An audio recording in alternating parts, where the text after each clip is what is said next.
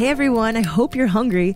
Today's show is about cooking and eating outside. We have a powerhouse team of experts on today's show, including Brad Leone of Bon Appetit and Brendan Leonard and Anna Brones, authors of Best Served Wild. But first, a little background. One of my favorite parts of camping and hiking is eating on the trail. Everything tastes 10 times better when you're enjoying it outside after a long day of hiking or surfing. In fact, the food I ate on a camping trip made me fall in love with camping in the first place. It was my first multi day adventure. I was a sophomore in high school on the surf team. The mom of a teammate took us camping for three nights on the beach. We surfed all day, then came in to eat homemade spaghetti and meatballs over fire, tacos, and the most delicious food. It was the most incredible thing to surf all day, then fill up on the most delicious, yummy food. One of my favorite memories as a kid is when my stepdad took us camping and he'd make us Rocky Mountain toast, also known as egg in the hole or toad in the hole, where you basically cut a hole in your toast, crack an egg into it, and it's still one of my favorite things to eat outside. But last year, I went on an all women's overnight adventure with REI, and apparently I forgot everything I learned as a kid.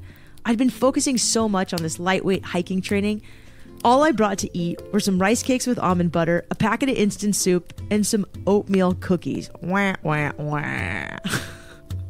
when the other woman started busting out water bottles filled with tasty beverages and the ingredients to make fajitas, I was so embarrassed to show them what I'd brought. Luckily, they were kind enough to share, and that's one of my favorite things about enjoying a meal in the outdoors. It brings people together. It's so much easier to cook a group meal for one person to man the fire and make sure the coals are hot, while another chops the ingredients and another tells the stories. And it's not only a long day of physical activity that makes the food taste so good, it's also knowing you contributed something to make a nourishing meal. I'm Shelby Stanger, and this is Wild Ideas Worth Living.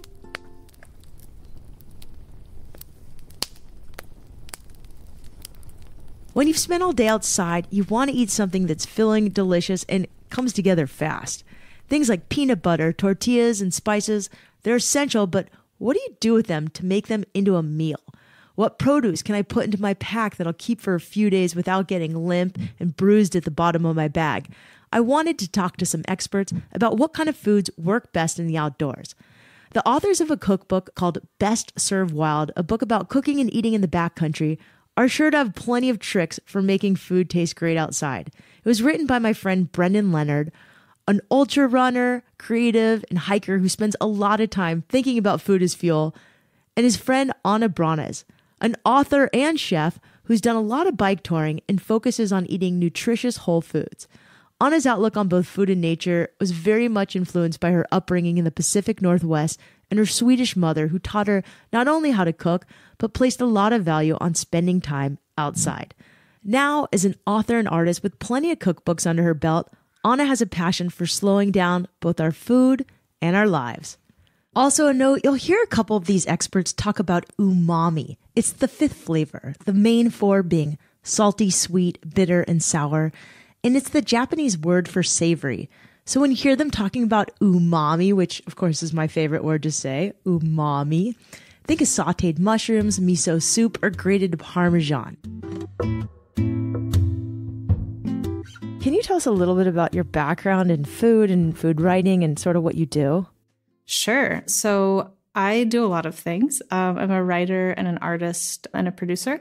And I have always cooked food at home. Um, grew up in a, a, household with a mother who came from Sweden and a dad from the US. And um, my mom was just really adamant about making pretty much everything at home. So I was always helping in the kitchen. And I don't have enough formal food training or anything, but I just got into food writing sort of as one does. And I've done several cookbooks, including Best Served Wild with Brendan. Also done a book called Fika, The Art of the Swedish Coffee Break. Um, have a book called The Culinary Cyclist, which is sort of the intersection of slow food and slow life. So I just, I just love food as a way to connect people and a way to slow down and be present. And I just really like experimenting with food, whether I'm at home or outside. So I grew up um, sort of a non traditional American upbringing, I guess. Um, we always ate a lot of like whole grains and vegetables growing up. Meanwhile, all of my friends were, I don't know, bringing like bologna sandwiches to school. And I had like sandwiches with sprouts, which were very untradeable. But um, yeah, I was just always like, just made a, grew up in the country and just made a lot of stuff at home. I mean, I think Swedish food and Swedish cooking is very sort of simple and down to earth. And that's just kind of like how I grew up. And so I was always helping my mom in the kitchen and was always excited about that and didn't really didn't really realize that that was like a special thing. Probably until after college when I just cooked a lot and I didn't really I sort of started realizing that a lot of my friends didn't necessarily do a lot of cooking or didn't really know a lot about cooking. So at that point I started I was working at an online magazine and I started doing some um, some food writing and doing some weekly recipes for that blog and that kind of grew and developed into uh, to a, a career in writing about food. Oh, that's so cool. You know, it's funny because as you sit here and tell this story, I'm thinking the person who taught me how to cook and like finally made me realize that I was such a terrible cook was a roommate I had in Costa Rica from Sweden. And she could just cook everything and she would cook like pancakes from scratch. And I was like, How do you do that? And she would just look at me like I was crazy. She's like, It's flour and water and like some butter. And I was like, oh, I didn't know. I just used a box when I was a kid. Yeah. Yeah. It's funny. I mean, you know, I, I think it's, we all have different entry points for food, right? But we all eat. We all have to eat to survive. And so that's why I think food is such a great, like, common denominator. And it's really a great way to come together for people. Um, but I think, yeah, we all come at it from very different backgrounds. And so I have a lot of friends that are really excited about cooking, but did not grow up cooking. I mean, my husband, he loves to cook, loves food, and he grew up on like, baked bean sandwiches. He's from Australia, and baked bean sandwiches are apparently a thing, which sound terrible to me. They're cold. That's so gross. I've never had one. It sounds awful. so, what's your relationship to the outdoors? You seem like a pretty active human. well, I grew up in the Northwest, and like I said, um, Swedish mom, American dad. I think Swedish culture has a lot of just nature in the everyday. So I would say that I just grew up in the country and um, on a piece of property and just spent most of my, well, it's the Northwest. So whenever it was fairly nice out, um, would be outside. Definitely was just like running around barefoot all summer long. Um, was a camp counselor for a long time. So was really excited about getting kids outside. And I just, yeah, being outside has just always been part of my sort of everyday existence. I was just having a conversation with somebody recently about you know, in this world where a lot of people have very extreme outdoor routines, or, you know, it's like they're climbers or rafters or whatever, there's this sort of like push for bigger, better, you know, um, getting a personal record on a certain route or that kind of a thing. But I think for me, like the really the important thing about being outside is just that moment of presence. So whatever the activity is, it's just about slowing down and being in the moment and just being aware of my surroundings. And that's kind of like, that's the most important thing to me when I'm outside. Well said. I mean, that's sort of what we're trying to push right now is we're trying to expand, at least this year for me, I had a lot of really, you know, extreme rock climbers and ultra runners on the first and second year. And this year, I've just wanted to expand the definition of adventure but part of adventure is eating. And I'd love to talk to you about food outside because that's what the show is about. It's about yeah, cooking outside. So talk mm-hmm. to me about your experience cooking outside and your cookbook and then I want to get into the details. Yeah. Well, I think like with anything that we do, if if we do something fairly regularly and it's just sort of part of our normal activity, we don't really think of that as special or particularly different. And I think just like I grew up cooking food, I think making food outside and just experimenting with food outside has always been something that I've done. So, you know, when I, I, have a lot of friends now, they're like, what should I make outside? And I'm like, I don't know. Just like, what do you have with you? Just like experiment. But it's such a, for me, that's just always been, I've always loved experimenting at home. And I think spending a lot of time on camping trips with my parents when I grew up, I mean, we'd always have really good food. I remember specifically on a trip along, I think we were on the Oregon coast. Um, and my mom had made this like, it was like a pine nut couscous apricot salad thing that she yeah. made like on trail. Amazing. and i just have that really yeah i just have this really distinct memory of that meal which i love. And then there's a few other sort of as i was younger there's things that stick out. Like i so i went to this ymca camp for a long time. And uh, when i was in sixth grade three days of that two weeks you got to go on this overnight backpacking trip. And I remember that one of the things was uh, pancakes is like a really, you know, just common kind of backpacking camp food, right? Just it's like a mix and add water. And uh, one of the counselors had M and M's with them, and would, that was like the special thing was you got to put the M and M's in the pancakes. And uh, at the, you know, in sixth grade, you're actually technically not allowed to like be on the stoves. Like the counselors are supposed to do it. But I was like, I've grown up camping and I know my way around a stove. And they're like, well, if you want to make the pancakes on it, like have at it.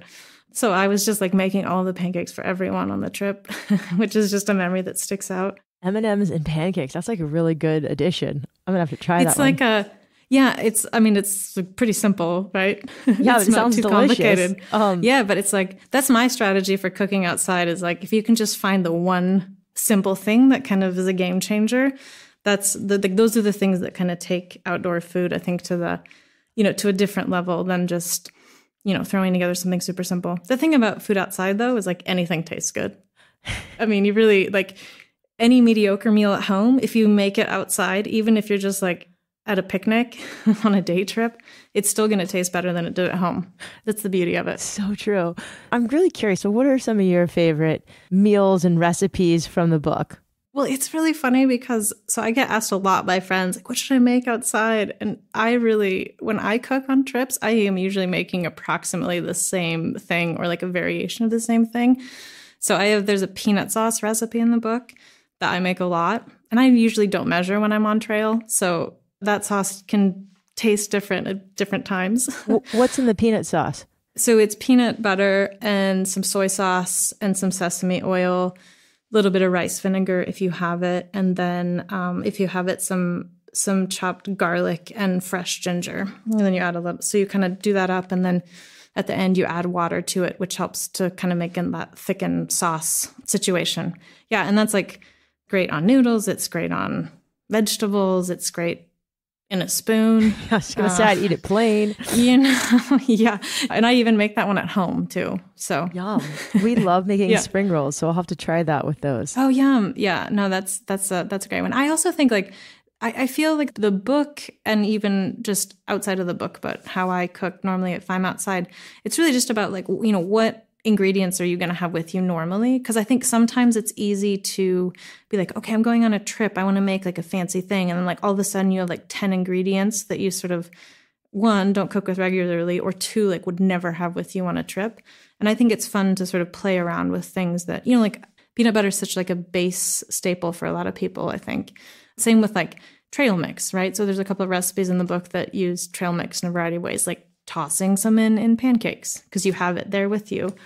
Tell me a couple more recipes that you love. There's a uh, there's like a red lentil dal recipe in there, um, and like lentils. So I do some I do a lot of bike touring, and so when you're bike touring, you can get away with a little bit more weight than you can when you're backpacking. But um, yeah, that one's really nice. I love that one because those those red lentils cook up pretty quickly. And then there is a I really like having dried mushrooms with me when I'm traveling just because they're really they're lightweight and you can do a lot with them. So there's a there's just like some some dried mushrooms and a pasta recipe in there, and that one's kind of fun. The other one that I really like, which is one of these uh, ones that I just kind of came up with one time because I was trying to use up leftovers, as I think most of us have done on trips. You know, when you're at like the bottom of the stuff sack and you're like, what in God's name can I do with these dried crusts of bread or whatever? But um, on one of those types of trips, I had a bunch of leftover tortillas that were just kind of like corn tortillas. They were just kind of gross, just dried out and yuck. And you just like drizzle them in a ton of olive oil and then fry them up, and they actually end up becoming kind of crispy. So we have this like I don't remember what the exact title is in the book, but something like trail nachos or something. And uh, Yum. so it's just like those plus like whatever hunk of cheese that you still have left, and then like some red pepper flakes on top. so there's there's some game changer ingredients that you can take with you to basically make your food taste a little bit better. One of those was peanut butter. Can you give us a couple more of these like game changing ingredients? Yeah, so I think that the best place to start, it kind of depends on what you cook at home. So I think that the best place to start is by identifying sort of what your favorite things are to make at home. And like if you, you know, if you make a lot of sort of Asian inspired stir fries at home, well, then something that you can have with you is some soy sauce or some fresh ginger or some even sesame oil if you want to go a little above and beyond.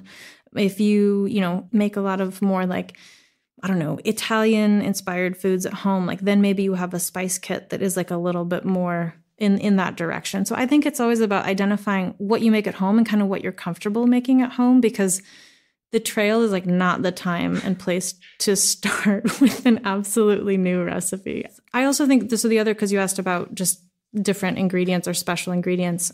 There's a recipe in the book that I make a lot, which is you toast up.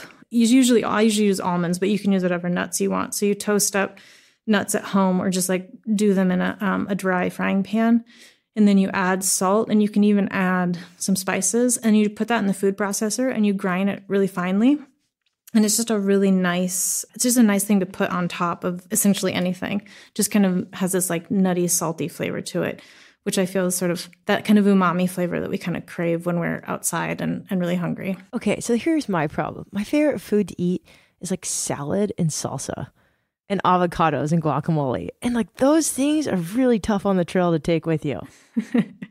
my guideline is always to figure out a couple of fresh ingredients that are going to keep longer that you can take and add. Because um, I think even when you're using, you know, dehydrated or, or dried meals, it can be really nice to have something fresh with it. So my things that I tend to have are like carrots, keep for essentially forever, even if they're at the bottom of your backpack in like 90 degree weather for a week, they're to be fine. Like I mentioned, fresh ginger is a really good one too. It's just like that one keeps pretty long. Fresh garlic Onions can be really good. Those can keep for a while. So, like, unfortunately, salad does not do well. No. but I feel like you can have that kind of like freshness flavor from carrots, for example. And I think it's sort of identifying like a couple just fresh items that you can add that will that will change up a meal a little bit and make you just feel a little bit better about what you're eating. And I find that, you know, dried veggies do the trick. So I can find dried peas, dried carrots, but probably dehydrating them yourselves is is probably the way to go. Yeah, and I actually haven't. Um, I don't have a dehydrator, and I haven't really experiment because there's actually I know a lot of people that do their own. You know, like they'll make chili at home and then dehydrate it, and then get to undehydrate or hydrate it back on the trail. Um, that's pretty nuts. The one thing that I do at home pretty often is I make my own dried apples. Oh. Um, so I just do those. I don't have a dehydrator, but those you can do in the oven pretty easily, just at a really low temperature. Slice them really thinly, and those that's like another thing that I agree with you that those like dried vegetables, even if you you know you just have one of them, it kind of adds a little bit of extra flavor. So with apples, you just slice them thin, and then do you put anything on them, or you just you can put something on them. I usually do mine on their own, but you can actually you could put like cinnamon on them. You could even do cinnamon sugar. You could do cinnamon and powdered ginger. Yeah, and you so you slice them pretty thinly and then put them on on a baking sheet with either either on parchment paper or like a silicone baking mat just so that they're easy to pull off. And then you you do them at like at 200 degrees for time wise just depends on yeah. how thick you've sliced them. But usually i do mine for somewhere in between an hour to two hours and you just flip them over kind of halfway through. And if you really like don't want to pay attention to them. You kind of do them for like an hour at 200 at night and then just turn off the oven and like come back to them the next morning. And then they're a little bit crispier than they usually are. Yum. I usually just buy mine already made at the farmer's market, but I like yeah. I like your style. what about camping? So like you're camping outside with friends and you're just car camping or maybe you're just hiking in a couple miles and then you're going to camp for the night. What's like a winning recipe or winning meal to bring to share with friends? Well, so I really, so if I'm car camping or, yeah, just doing a shorter thing, I really like having an appetizer, like not just the main the main meal. Because i think we get so in this like oh here's a one pot meal that we're all gonna just slop into our bowls and that's that. So even if you just have like even like dried bread you can slice that up pour some olive oil on it and just grill it up pretty quickly and then put like if you have a little bit of cheese, you can put that on top and just serve it as, you know, little little squares.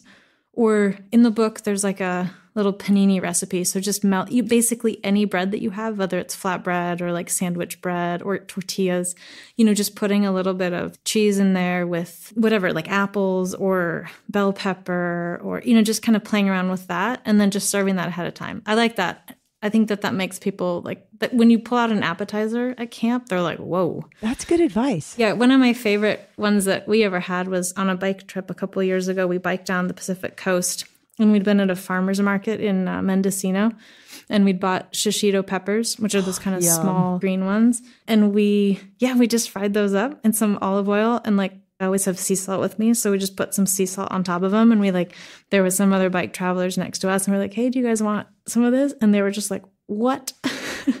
Which is so, I mean, not a complicated dish. It's just that we happened to pick up some good ingredients on the way. So, the book, how did the book go? And what's the feedback you guys have been getting from the book? I always think it's really fun to collaborate on projects. I mean, I think with any creative work, you know, we never create in a vacuum. We're always inspired and influenced by people around us. And it can always be so nice to collaborate with someone because you just get to kind of be pushed and challenged and always think out of the box a little bit more. Um, so it's so fun to work with Brendan. So the the whole the whole idea for the book was kind of like we both love cooking food outside and just wanted to share that, but in a really sort of down to earth way. And you know, Brendan is a really funny guy. And so we sort of took this uh, slightly snarky, slightly humorous, um, not taking ourselves too serious approach to the book. For us, I mean, I think both of us, well, I won't speak for Brendan, but I know that for myself, like I've never had a recipe in front of me when I'm cooking outside, right? And I've never had a measuring cup with me. So to actually write a cookbook about cooking outside is actually sort of humorous, just in the sense that that's not how I roll when I'm outdoors. But it was just a fun process to do that together. And then we did a multiple day trip where we just like made a lot of recipes and shot a lot of photos. And by the end of it, we were just like, we can't eat anymore. You know, we would like, tell, we would make a recipe and then it'd be like, okay, we've shot it, but now we need to eat it. we just sort of like overdid it. But it was fun. That sounds really fun, the eating part of it and, and the making of it. it. It all sounds really fun. You know, I don't I don't ever take recipes with me or look at them when I'm cooking, but I'll read them at night when I'm hungry and then I close the book and I get so inspired and make things up. I think that's how most people are though. I think they would read it, they would not carry it in their backpack, but they would be inspired. Yeah, the one thing that I've actually been debating on making is because I think that the one thing that makes it easier to cook outside is knowing sort of basic ratio guidelines. So I've actually been thinking about making like a little card that you could just like slip in your wallet or just like in the side of your backpack that kind of like, you know how they have those hang tags for leave no trace? That's like the leave no trace principles, just so you like know what they are. To do the same thing, but for ratios for for different stuff for cooking it. Cause I think that's super helpful. Cause that's like, you know, you're always like, oh, oatmeal. I mean, how many times have you made oatmeal? And then you're like, wait, how much water do I need? wow, that's I totally agree. Like winging it doesn't always work, especially when you're messing no. up like quinoa or rice or Yeah, yeah, yeah. Yeah, you can ask Johnny, my partner in the kitchen, how much I mess up rice. Like I'm one of those people that will like pick rice up halfway through and stir it. I yeah, I do rice so rarely. I always have to look. Like I just don't even looking is and fine. Then I'm like, but, am I doing it right? but right? then I stir it, which is like what you're not supposed to do. I think though, like when you're cooking outside, I mean, it's like better to err on too much water than too little. And the other thing that you can do, like when you're cooking pasta or grains, I do a lot on trips, is you can pour that water off and it makes like into a container or a mug and it makes really good hot chocolate because it's really nice and starchy afterwards. Ah. So then you're not like wasting that water. So you just add your cacao and your stevia or whatever. Yeah, I've it. even I even made it once with like leftover water that I had rehydrated dried mushrooms in, and it was really good. When it comes to cooking outside, just one piece of advice that was either given to you or that you like to give to people. I I love the advice like if it's outside, it just tastes good. But anything else? I think the best thing that you can do to improve your outdoor cooking game is just have a spice kit that is more than pepper and salt even if you just have one other thing in there, just find a couple of spices that you really enjoy and spices that are uh, multi-purpose, so can do both sweet and savory. So like cinnamon and ginger work really well for for either. And I think that that is just whatever you're making, you can always add a couple of extra spices to it. It's going to taste a lot better. Anna's co-author Brendan has been on the show before. He's the creator of Semi-Rad, a website and Instagram account featuring essays and cartoons about adventure, as well as the humor in everyday life. What does this guy know about food? Well, Brendan runs a lot, trains a lot, does ultra marathon, and he eats a lot. So no surprise, I caught up with him while he was out adventuring. So the audio quality is a little rough. So I'm curious, you know, you wrote this great cookbook. What inspired it? I, I actually had wanted to do a project with my friend Anna, and she's I respect her work in a lot of ways, and we don't really have a lot of crossover in the things we do because I do a lot of uh, like climbing, mountaineering, ultra running, and stuff. And she doesn't do those things, but she does a lot of uh, backpacking and uh, bike packing. And she's a phenomenal cook and just comes at comes at it. She's written a couple other books about food, and she's good at baking and knowing what ingredients to use and what things taste like, and also just very confident. You know, just like one of those people who just starts to throw things together. So we co-wrote a cookbook called Best Served Wild. It's like single day things to snacks you take with you to big things you can make while car camping and then ultralight or or backpacking food. And I guess I had been maybe one of the stories that sort of inspired us. I was out just on a day hike with a group of friends one time and my friend Mitsu was with us and we sat down at like I don't know, halfway to eat some lunch. And I had brought something pretty basic, maybe like Clif Bars or a peanut butter and jelly sandwich. And he had like, I want to say smoked salmon, maybe like capers. Uh, it was the same situation you were talking about earlier, where you are eating and you're just trying to get some calories and you look over at somebody else's food and you go, wow, I'm really an amateur, you know? And he is a longtime outward bound instructor and uh, spent hundreds of nights in the wilderness. And he said, oh, I've been doing way too much of this stuff to just eat like energy bars. So I've sort of brought that inspiration with me and thought, how can I, how can I work better food into my life in the outdoors? Yeah, or how hungry you really are and how picky you are. When you did this book, what did you hope people would get out of it? Um, yeah, I mean, just just more joy about food. I think you know, and like I think a lot of people kind of food is one of the last things they think of when they're getting ready to go on a trip, maybe, and, and they grab some like freeze dried stuff from when they're at the gear shop. And they're like, "Do I have my tent? Do I have my sleeping bag? Do I have this? Do I have that?" And then food. Oh, what are we going to do about food? And it can be a little daunting, but I don't think it has to be. I always think of like what did you cook you know when you were a sophomore in college or the first time you were living on your own? Like it was probably really simple. Just make that when you go backpacking. The first thing everybody cooks is macaroni and cheese. And like of course yeah take that backpacking. It's like 800 calories and all you need is the box some water and i think you're supposed to put i think they, the recipe probably says milk and butter but i just take out a little jar of olive oil with me a little plastic uh, like two ounces of it and it's great. So, what are your favorite recipes? Like, I'd love for you to start diving in and telling us, like, breakfast, lunch, dinner, an ideal day. Give me a little mix, like a little car camping, something more elaborate, something for really easy, lightweight. For long trips, for backcountry trips that are, you know, a couple days or more, I always have relied on oatmeal to keep it light, but also so you're not just like grudging your way through regular oatmeal. I always add, um, I find powdered peanut butter, which is sort of in a lot of grocery stores these days, super light, but very high in protein. So, like, take a big bag of that, some plain or flavored oatmeal packets, and then some dried fruit. I take uh, goji berries a lot. Um, and then I add uh, walnuts or pecans or something else to it. So it becomes this, you can get it up to probably close to 700 some calories. So that's that's a solid breakfast, you know, for for a morning in the backcountry with not very much weight. Yeah, goji berries taste like nerds, like they're so good. But yeah, I mean, dried cherries are really awesome too.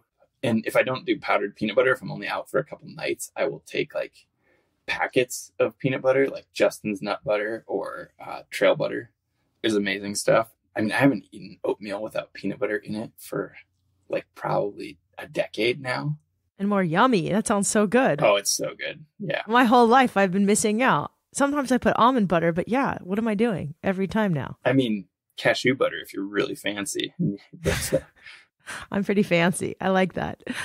So we got breakfast. We got oatmeal with like peanut butter and some goji berries. Well, we should talk about coffee, I suppose, huh? Oh, yes. Do you That's the most important meal of the day. It's pretty much all I eat for breakfast. Yeah.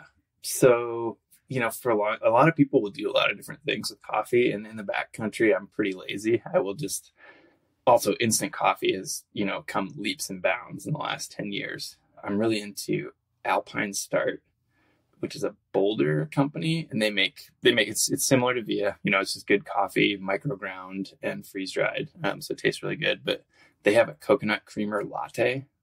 They're kind of big packets. I always say it's the size of a tampon, which is like not. That's pretty much how big. This so random hearing this from you. I know, but that's what it looks like when I throw it in a bag. I'm like, what are these things? But they're that's one of my favorite things right now because you can't really. Some people will take milk in the backcountry, but I think it's sort of a Oh, gross. not great idea. And I, I use half and half of my coffee. But um, Laird Hamilton has this like I was just gonna say superfoods, Laird Hamilton. For those of you who don't know, Laird's a pro surfer, husband of past guest Gabby Reece, and he has this line of plant-based creamers, coffees, and other yummy stuff. yeah, he has a coconut creamer that works pretty well too. But so far as far as simplicity goes, I go the Alpine Start coconut creamer latte. But yeah, that's that's coffee. And lunch, gosh, in the backcountry it can sort of be anything. I might do like a variety of sort of like trail mixes or tortillas and other things. My favorite thing to do for single day things, well, there's there's two things now, um, is to take a frozen breakfast burrito from just like the freezer section of the supermarket or say a 7-Eleven and just keep that in my backpack and let it thaw throughout the day. Isn't it soggy? No. By the time you're on top of the peak or what, whatever, you, whenever you, your lunch point, you have this like lukewarm breakfast burrito, which I think is phenomenal. It's I, I love it. Um, so I, I eat those actually when I do super long trail runs as well or ultra marathons. I'll, I'll pack just thawed breakfast burritos and, and eat them a half a burrito at a time just to get some real calories. And also, I learned this trick from a mountain guide in the Sierras. I did this uh, four day Mount Whitney climb for for a fundraiser. So it was a bunch of us and on, on a guided trip, and we we were there. And, and like day three or four, I asked this guide Chris, like every day I look over here at lunch and I see you eating a slice of pizza. What, how did you? What are you doing? Did you just pack a whole pizza back here? And he goes, Oh yeah, the night before these four day trips, I will just buy a frozen pizza at the supermarket, bake it, and then I'll cut it into you know four slices and then every day i have a slice of pizza on this trip and i thought oh my god this guy's a genius you know? So i did this on my like my last ultra marathon i i like made two vegan pizzas cut them in half and folded them into like basically quesadillas and put them in plastic bags and every time i met back up with my wife at an aid station i'd grab one and just walk off eating pizza. I'm like this is this is fantastic and it's 400 400 500 calories for that. So that's that's one of my favorite lunch things to do. So dinner. This is the one that I think it's the hardest one. I think for most people.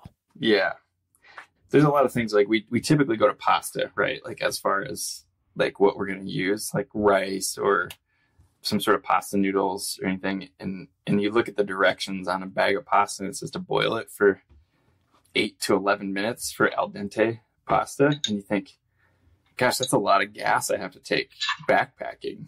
Um, you know, and it, it, would get pretty heavy if you were just gonna boil your pasta all the way through. But uh, I learned a trick from a, a friend. I think my first camping trip ever. He had he had through hiked the Appalachian Trail and he was cooking Annie's macaroni and cheese for dinner. And he's like, "Yeah, just bring it to a boil, boil it for one minute, turn the gas off, leave the lid on, and let it sit for nine minutes, and then it's done." And it was it was a revelation for me. It's like, wow, you don't actually have to cook it. It's just literally it's like soaking in warm water and it's totally fine. Genius. That's a good hack. I appreciate that one. So most of your dinners are are pasta or rice. How do you make it like really yummy? I mean, you can add soup vegetables, pieces of cheese. I always take hot sauce or You take hot sauce with you on your trips? Oh, totally. They actually are selling like single serving sriracha packets at REI now. Like you can buy a bag of like 50 of them. Wow, that's a good to know. REI for the win and sriracha. Well done on making those. How about dessert? Like I've got a chocolate sweet tooth always for pretty much every meal. I want chocolate afterwards.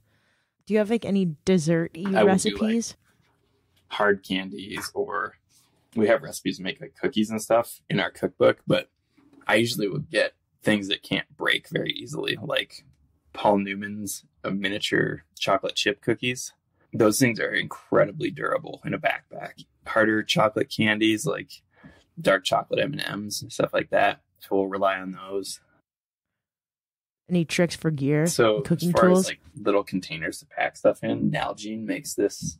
I think it's like a kit of, I want to say five or six really small bottles, and that works pretty well to pour olive oil into. And I still really never found a per- like a hundred percent watertight olive oil container. So uh, what I end up doing is a small plastic jar with a screw-on lid, and then put that inside a plastic bag because it's going to leak anyway.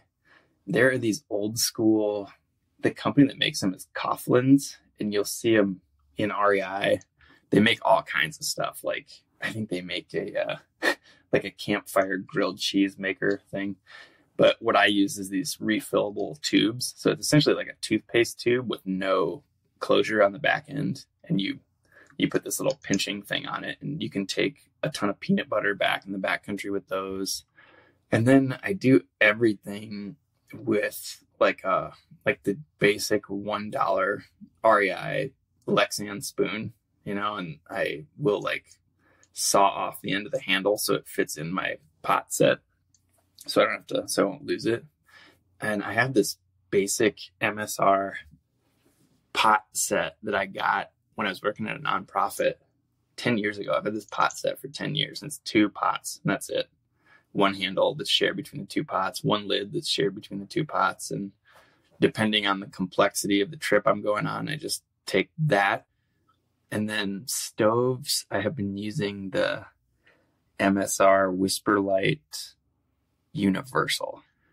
It takes canister fuel, butane, and also white gas. And I like it because it's freestanding. It doesn't sit on top of a gas canister. And the little the little stoves you can buy that will perch on top of a gas canister are fine, but they're really, in my opinion, inefficient because you can't even build a windscreen for them. So you just have this like canisters sitting out with a pot on top of it, and the wind's blowing by, and it's just like sucking all the heat off of your off of your stove. So tough to cook with. And then car camping, I know people make really nice two burner stoves, but I like I will stand by the the two burner Coleman stove that I think is like maybe it's fifty five dollars, but like yeah, you can spend a couple hundred bucks on a camp stove, or you can get this Coleman stove that's worked for I don't know thirty years, you know, for fifty five bucks, and they sell those green gas canisters at like every hardware store in Walmart in America. So if you're in the middle of nowhere and realize you don't have any gas or you need more gas, you can go get some. And those things like for my needs have worked for for years. Any tips you can give to people who just, you know, want to make their own food for a multi-day backpacker camping trip that you're just like, here's a couple tenants to Yeah. remember. You know, you can take a pretty basic recipe for a lot, a lot of different things and just make it and, and make it work for the backcountry. You just have to think of, okay, can I dehydrate the vegetables or can I buy dehydrated vegetables or can I substitute something that will that will be I can carry without having to weigh 10 pounds and pastas are always good. You can always find dried soup vegetables, things like that. And I, I mean, I think the number one tip I would have is like even if it's not doesn't look like it's that good, if you make it at home, when you are 10 miles from any road, it's going to taste pretty good. I love that Anna and Brendan's book, Best Served Wild, doesn't take itself too seriously because it's true.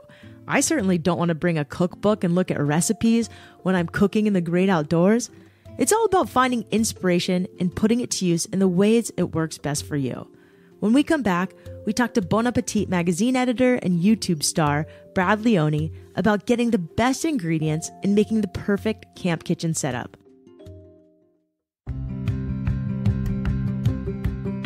When you spend time outside, there's things you just can't find anywhere else, like the whistle of wet wood on a bonfire, the feeling of belonging you have just by being out there, or a river rock that surprisingly looks like the station wagon your parents drove when you were a kid. REI is here to help you find those things and more, to ask big questions and discover more answers outside wherever you are. So visit your local store or rei.com for inspiration to get outdoors and tools to make it easier. Then go find out. Brad Leone has had quite a career, from working at his grandfather's catering company to carpentry to deciding to go to culinary school. Out of school, he got a job as a prep cook and dishwasher at Bon Appetit magazine's test kitchen and he's been there ever since. In 2016, the magazine started a YouTube series called It's Alive with Brad, featuring, you guessed it, Brad and his passion for fermented foods. The show has grown quite a bit. Most of his videos get around 2 million views, and he now has a spin off series where he travels around to meet people working in or educating others about food. Here's a clip of Brad on his most recent episode where he went to Hawaii to go spearfishing with previous Wild Ideas Worth Living guest, Kimi Werner. I am such a fan of some of the smaller fish, what the industry considers a bycatch or like a nuisance. But like, you know, we can't all just eat tuna and salmon. No, no. I think the key to sustainability is diversifying our choices. And Right. especially when you go low on the food chain, that's like the most responsible way you can be eating. And, Absolutely. and like you said, if globally, you know, we're all collectively targeting the same four fish, obviously that's not a good idea. We're not gonna have any more. If you've ever seen It's Alive with Brad, you can see the kind of joy Brad gets from cooking his food and eating it, and from just being out in nature. He even did a few episodes all about cooking over a campfire. It's Alive is so good. It's like a cross between a travel show, a food show, a comedy show. Yeah, we started. You know, it's just been it's alive, which is in the kitchen, and that's like a lot of fermentation and projects. And then uh, we started to dabble with a, with some traveling and uh, going to different farms and seeing where food comes from and the people behind it and the stories behind it. And that's that's really kind of where my passion lies and how that can you know. And then being an outdoorsy guy, you know, it all just kind of.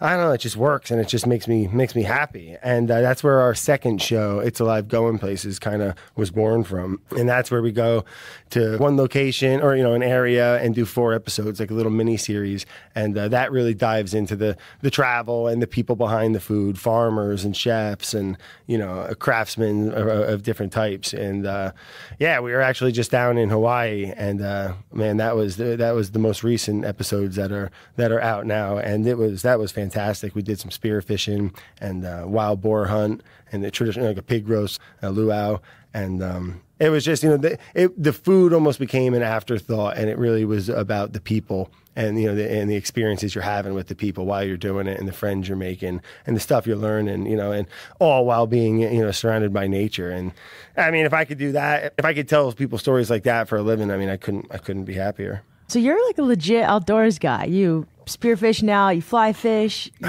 camp, you surf. Yeah, jack of all, master of none, basically. But uh, no, that's not true. I mean, I'm pretty good at fishing. Uh, I can. I've caught some some really fun waves, but I'm I'm certainly no. Uh, I know my limits and my skill level too. I just love doing it, you know. And it's like that old saying: the the best surfer's the one having the most fun, or whatever. I'm not always having the most fun, but when I do, I, I get it. You know, it's when you catch that wave and you get in the right spot and you're just kind of cruising down the down the line there with all that power behind you. It's just, I mean, there's there's nothing like it. And the more I get into different types of outdoors and sports and stuff, you find the little things in each that are, that, that are kind of like getting in that right pocket when you're surfing.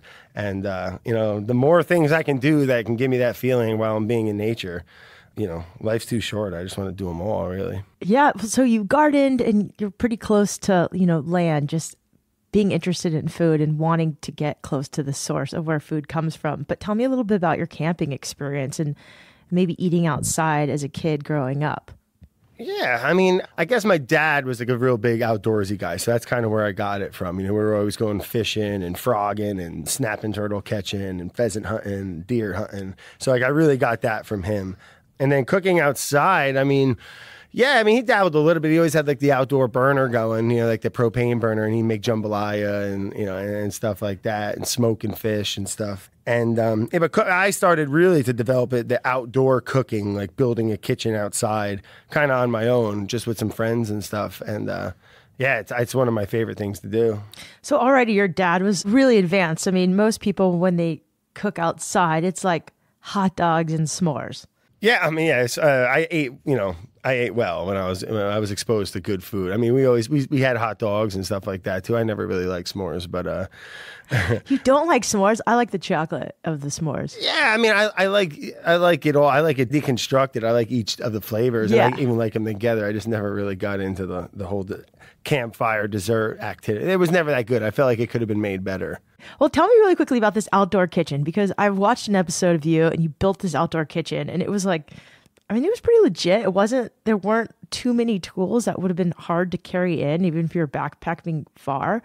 But like just to make an outdoor kitchen is, is really, that concept is pretty interesting. And I'd, I'd love you to share a little bit about that and tips to making food outdoors just taste awesome. Yeah, well, I, it's kind of. I think the key to making good outdoor food is you, you can do a lot of prep at home and just have a really good solid you know broken down pantry of things that you can bring into the into the woods that could take you know a piece of meat or a piece of you know whatever some vegetables and can just really bring it to another level you know like like some fermented chili pastes or uh, different types of soy sauce or misos or just things that have big umami is, is always a I find to be super helpful. And then just having like the right tools you know I just like things to be real lightweight cooking on um like those wire resting racks and then I mean it could be as complicated as you want it to be. It starts to get to find the right spot somewhere usually if you can get a little wind protection that's really nice. And then just go gather a bunch of rocks. And what i like to do is build like a big u and then like a strip down the center of more rocks. So it's kind of like a like a like an m i guess we'll say. Yeah so like it'd be like almost like an m. So you can have you could build in the back you have you can build a fire okay? And then in the front of it when you get the two you know the two channels coming down and these are all rock structures.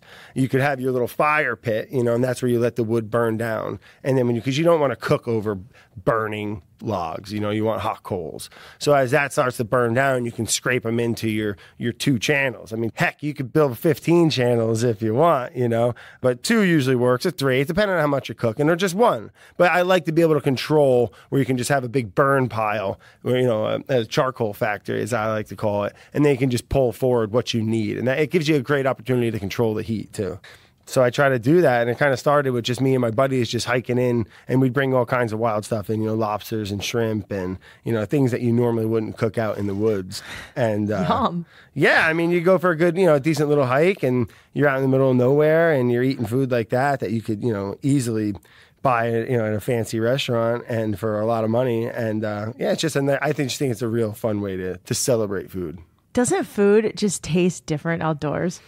Yeah, well, you're usually usually working a lot harder for it. So, so I mean, I think like uh, it, it's always better when you earn it, right? I think there's that element, and yeah, there's something just about being in nature uh, that I think. And you're cooking it. You're usually, you know, pr- it's usually pretty primitive, or with your hands, and you got you got your smoke. You burned your fingertips. You know, it's like when you sit down and eat it. It's just a the food's probably awesome. I hope so, anyway. But like like I'm saying, the whole experience I think really feeds into it too. So, what are a few recipes or meals that people can cook outdoors that might blow away their guests? Yeah, I mean, a big favorite of mine, you know, if you can bring a wok out, you know, if you're just doing like, if you're, especially if you're camping out of a car, or I mean, they're not really that heavy. You could probably, you could probably strap it on the side of a pack or something, but like going out and bringing some pre-cooked rice and some vegetables and just making like a real hot fried rice out in the woods, that's, that's a pretty, that's a pretty satisfying one to do. And then just less is more. I, I would focus more on getting really awesome ingredients and just cooking cooking them perfectly in a simple way. Some good olive oil, some good salt, you know, uh, a little vinegar if you want, or some citrus, or you know, just having uh, letting the things that you're cooking kind of speak for it. Good olive oil, good salt. Is there any other spices that just like work really well outside? Yeah, you know what I always tend to bring with me is like a like a, a seedless pepper flake, like a Maras pepper or like a like a, an Aleppo style chili flake. You know, a seedless flake. It just goes on everything so nice, and it it bleeds a little color and that flavor into it. It's just it's just a fantastic staple to to bring outside. Or, or sometimes you know, I'll do like back home. Speaking about prep before, I'll make like a little like a little half pint container or something, or you know whatever kind of container you got. And I'll back when I'm home and I have all these different spices, and I'll make like a master, uh, like a master mix, you know. And I'll put like salt, little cumin, some, uh, you know. I don't hate a little garlic powder, and I'll you know I'll put a little seaweed in or something, whatever I'm cooking, and then you have this like master like thing that just kind of flash on the you know pick and choose. You don't put it on everything. You don't want the the meal to be the same tone, but like you know you get my point. Yeah, it just so beats like my rice cake and almond butter. Hey, you know, time and a place. You know, time and a place. That, that- I'm sure you've had that rice cake and almond butter, and it was the best one you ever had in your life. I don't know. Maybe in Yosemite at the top. But Yeah. so what about your favorites to just take while you're actually kind of hiking in? Is there anything that's pretty lightweight that you've enjoyed? Yeah, I mean, one of my favorite things to absolutely bring out in the woods is uh, tin fish, or you know, some, some of the companies now do like, and then there's like vacuum bags where it's like cooked, you know, smoked Oh, yeah. sardines or or tr- Patagonia does something. like Patagonia salmon. does the, the vacuum bags. I love that. Then you can just bring like little crackers or like a, a chunk of bread or something. And I mean, that's pretty lightweight. And it's got, you know, it's got, I think it's just good, clean energy too. I'm a big fan of dried mangoes and, and you know, nuts and fruit. So I'll just take a bunch of those different things and, and throw them in a different, you know, like a pouch or something. And, uh, always nibble at that if we're trying to go super light. Different jerkies are pretty. I, I find to be pretty uh, pretty useful on, out in the woods too, or you know if you're doing something outside where where you just need a quick snack. That's kind of a go to. I'm not a real big sweets guy, but that's probably a good thing. Yeah, you're lucky. I was like, where's the chocolate in this? But Hey, listen, I love a little. I like dark chocolate. yep, me too. I can get into that. I can nibble. I can nibble that a lot. And that actually, that's a good point. I think that would be. I don't do it that often because it always tends to like melt in my bag or my pocket or something. But, uh, True. but the chocolate is a is a fantastic one and pretty. I think it'd be pretty good. Pretty good. You know, fast energy for you too, right? So you've played around with fermentation a lot on your show and just in your work. Is there any way to, you know, bring fermented foods to increase the flavor of food outdoors or Yeah, is I that think something? I think fermented products are great to bring on a camping trip, uh, especially long term or even short term, because I mean the way fermentation kind of started, you know, a by accident, but also you know it was kind of before there was refrigeration and they wanted to make things last longer and it was kind of to to give it a you know a shelf life so they would ferment things and so to my point you don't need to worry about a cooler or ice packs or something you could take some sauerkraut put it in a bag and throw it in your pack and like you're good, man. And you go, you know, cook a little food a little bit, and then you got your probiotics on you, and you're doing all right. That I think that's a great idea. I should, I, I got to start doing more of that. You're awesome. Tools to bring when you're going, you know, just for like car camping or just like a short hike. You said wok. I've seen you use an axe to cut wood, like any other like couple of just tools that you should have on hand. Yeah, thin, a thin, lightweight hatchet is really, really helpful. I'm a big fan of the uh, of the headlamp. You never know when it starts getting a little darker. You know, uh, it's really nice to have your your hands free. I mean, I bring one of those things everywhere. Yeah, and then a knife. I mean, as far as a knife goes, I like to, you know, so many, you know, you think of a knife, it's like this big pointy chef's knife. I like to bring like a Japanese or Chinese uh, vegetable cleaver. You know, it's got the flat end. They're workhorses. You can do like anything with them. That is, and they're easy to pack. And uh, that that is my, they're my go-to knife. But that is definitely my go-to uh, like next level outdoor knife. Fourth of July is coming up. Everybody wants to take something that's pretty exciting, maybe impress their friends or, you know, just impress themselves. Do you have any recipes that you could share just to help people have an enhanced Fourth of July meal? Well, I mean, yeah, yeah. I, what I like to get, you know, I'm a big fish and seafood guy by, you know, right out of the gate. But I like to get a nice big chunk of fish if you're going to have some people over, and you know, like a, a big chunk of halibut, or you know, uh, I'm on a big yellowtail like hamachi kick. I, that could be a little difficult for some folks to find, but depending where you live maybe not. Just a oh, you know where you can get something a big slab of it with the skin on and just cook it whole. I mean, I think that is, and then you know, like I said before, less is more. I think they let the you know simplicity sometimes can really you know be some of the best dishes. So uh, a big chunk of fish. A big chunk of fish, and then what do you do with it? All right. So what I've been doing recently, if you can get like a big piece of steel or like a big cast iron, and just I like to lay it down, you know, skin down and let that skin kind of act as a protective barrier and even crisp up. And you can either finish it in the oven or just leave it out on the grill or you know on a flat top.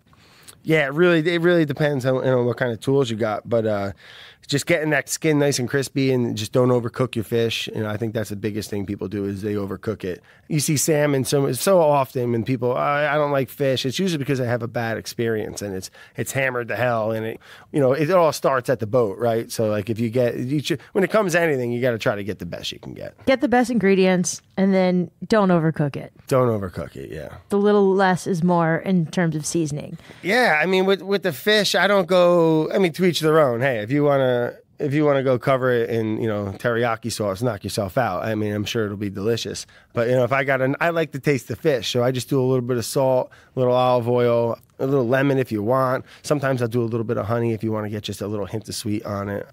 Yeah, but nothing crazy. I don't like to do nothing too crazy. Uh, steamed fish is fantastic. Get yourself a big slab of fish or like a or a bunch of little small ones. I'm just over fillets is what I'm. I, I, want like something with the bones in it. You can cook it whole. You waste so much when you throw away the whole body. You just you know cut out the fillet, let it cook on the bones, and people some people get worried. Oh, I don't want to eat the bones, but actually when it's once it's perfectly cooked, the meat just kind of falls off the bones. I've had more bones in fillets than I've had eaten a whole fish. You know and uh, so much more flavor and juice when you cook it on the bones too. So whole fish, and, and get something other than tuna and salmon. Got it. That's that's great advice. And what if you're like a vegan? Uh, well, then eat vegetables. You're like, I can't help you. no, I'm, I love. I mean, I love vegetables. Uh, poof, get some eggplant or something. Big eggplant guy. Fourth of July. I guess it might be a little early for some places. Out here, it's more of an August thing, but you're getting close. I think grilled eggplant is fantastic. I like cooking things on big flat tops, like big planchas, where you can get a nice even consistency, uh, you know, sear all over. You get some of those uh, like Japanese eggplants and just rub it with a little mirin and miso and sear it up. Oh man, I mean, if someone, sh- I wouldn't care if there wasn't meat, as long as you, you know, if you get good vegetables and, and, and prepare them right. That sounds delicious. Any parting words of wisdom for people who want to cook food but are like a little intimidated? Yeah, don't be scared. Do it. Have fun and don't overthink it. I feel like people, I feel like everyone knows how to cook. You just got to stop overthinking it. We're exposed to so much this and that and, you know, new people, you know, all these fancy things or, but it's really, it can be as simple as you want it to be and, uh, and just have fun doing it.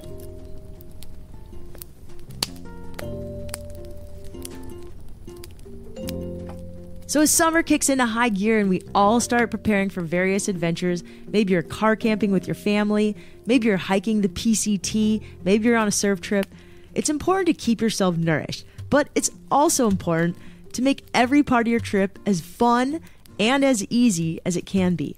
I hope these three guests have given you some inspiration for your next outdoor meal, whether it's out of the trunk of your car or buried at the bottom of your pack. I know I'm going to be updating my spice kit and finding those sriracha packs and maybe even stirring some macadamia nut or almond butter back into my oatmeal. This podcast is produced by REI with the help from Andy Fassler and Chelsea Davis. Thanks so much to Brendan Leonard, to Anna Brones, and to Brad Leone, who are all due for a surf adventure when you guys get to San Diego. And thank you so much to Diana Wade for making such yummy food on our first camping adventure with the La Jolla High Surf Team. Tune in week after next for a conversation with the director of an empowering documentary about pro surfer Bethany Hamilton. As always, we appreciate when you subscribe, rate, and review the show wherever you listen. We've been getting fantastic reviews, and some of you have a wicked sense of humor. I really appreciate them, and they really do help the show grow.